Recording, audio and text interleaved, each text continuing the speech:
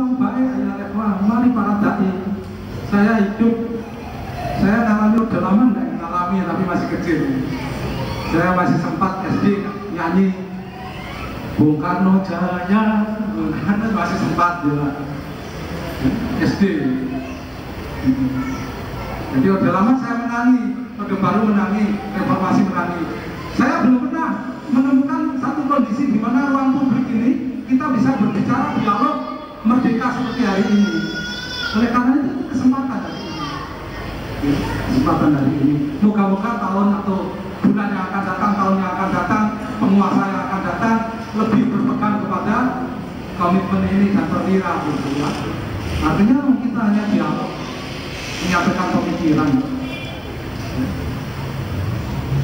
Jadi ini sekali lagi ayat ikhwah dari mana kita harus memulai dan bagaimana ABC-nya kita sudah memulai dari ini dan malahan sudah dari kemarin kita memulai jangan ragu-ragu jangan malu-malu nanti ada disebutkan di sini.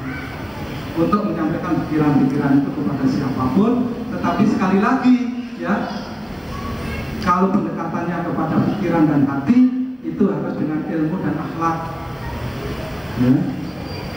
saya tidak menganjurkan tapi kalau urusannya dengan seragam dan tangsi nah, monggo kalau mau pakai bom silakan itu bukan urusan saya saya guru ngaji jadi saya bukan komandan jihad saya guru ngaji urusan saya dengan pikiran dan hati paling tidak di dalam majelis ini